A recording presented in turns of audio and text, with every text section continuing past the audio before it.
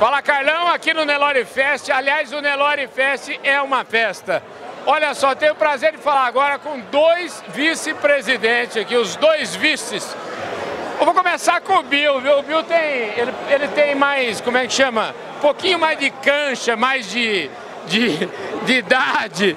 Ô, Bill, você tá acertou. Tudo bem, Carlão. Ô, Bill, mas não tem como, né? Olha, olha a semblante do cidadão, né? Não dá pra... Ele deve ter pelo menos uns 20 anos menos que eu e uns 22 a menos que você. 40 menos que um 30, né?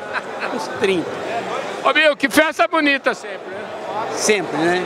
A Nelore Fest é o Oscar da pecuária e estamos a cada ano procurando renovar, mas o modelo de entrega de prêmios, é, isso tradicionalmente não tem como fugir disso. Não, e o povo, todo mundo gosta de receber um prêmio, né, rapaz? Quem não gosta, né, Eu cara? gosto, não sei Quem se você não gosta. Quem não gosta? Olha, e é bom também ver que a CNB cada vez procura mesclar na sua gestão gente com mais experiência com gente chegando agora, né, Bill? Exato. E a, a CNB está passando por uma renovação no seu conceito, é, procurando agora valorizar a carne do Nelore. que nós estamos fazendo um trabalho muito forte nessa área. Nós saímos é, de 11 etapas do circuito de qualidade para esse ano 26 etapas. É, eu tava falando com o pessoal ali do Friboi, um espetáculo. É, o, tanto a CNB como a, o JBS, nós estamos muito animados com, com, esse programa e acreditamos que em 2020 ele vai explodir. Realmente a nossa expectativa é muito boa. Maravilha! Vamos falar aqui com os, com os homens que estão chegando. Fica aí, Bill, não vai embora não.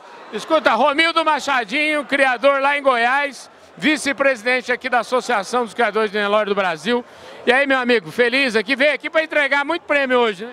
Sem dúvida, para entregar muito prêmio. Muito feliz com esse encerramento de ano, arroba batendo recorde em cima de recorde de preço. A China, um mercado que nós almejávamos alcançar, que enfim conseguimos com esse governo liberal que assumiu o país e agora o progresso está mais próximo da gente conseguir alcançar ele.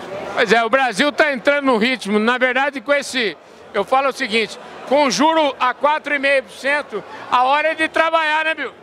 Eu acho que o Brasil nunca teve é, uma oportunidade tão grande de crescimento sustentável. Uhum. Então nós temos inflação abaixo da meta, os juros nunca vistos. Você tem uma inflação de 3% e uma taxa Selic de 4,5%. E o importante é que quem estava no mercado financeiro vai ter que botar o dinheiro para produzir. Isso que eu acho que é a grande jogada, a grande oportunidade do Brasil. Pois é, é isso mesmo. Machadinho, você. Eu tô, tô querendo saber o seguinte, afinal de contas, você vai ser candidato ou não vai ser candidato? Olha, a, a, candidatura é um negócio que ela nasce por si próprio, né? Nós, nós temos tempo que eu venho trabalhando na associação classista, que eu venho trabalhando em prol do produtor rural. Se lá na frente, em 2022, quando for a época da, da eleição, meu nome se viabilizar, é, a gente nunca pode falar nunca na vida, né? O futuro a Deus pertence. É isso aí. Obrigado, viu, querido? Tamo junto. Muito obrigado você, um Feliz Natal e um próspero Ano Novo para todos. E 2020 vai ser melhor do que 2019 para o Brasil e para o pecuarista. É isso aí, gente. Falei com dois feras aqui, meu amigo Bill, Machadinho, show de bola. Esse Fala Carlão é top de linha. Obrigado, meu querido. Um Feliz Natal a todos, um Feliz Ano Novo para você, Carlão, sua família e todo o povo brasileiro. É isso aí. A gente vai ficando por aqui.